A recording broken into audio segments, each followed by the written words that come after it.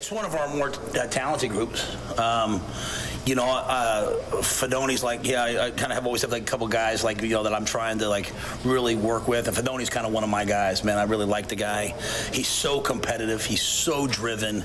Um, you know, and uh, sometimes when you're driven, it drives you all over the place. Like you just can't stand when it just doesn't come right away, and I, that's what I love about him. Right? Like I'm a little bit wired that way. um, you know, the best players I've been around are wired that way. So just you know, I've tried to limit him even more than we've limited him, and he fights me every time. So I just love his competitive nature.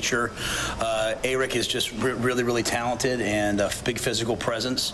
You know, Boerkircher and Lindenmeyer are two guys, you know, that, that have walked on here that, that play like scholarship players. You know, they've, they've, they're, they're, you know, they're, they're, they would have started for me in a lot of places I've been. They can start here, I believe. So really like those guys and what they've done. Um, uh, you know, Applegate coming back off the injury, um, really been pleased with him, and you know, uh, um, you, know, you know, the rest of the guys just they, they battle. So really like the group.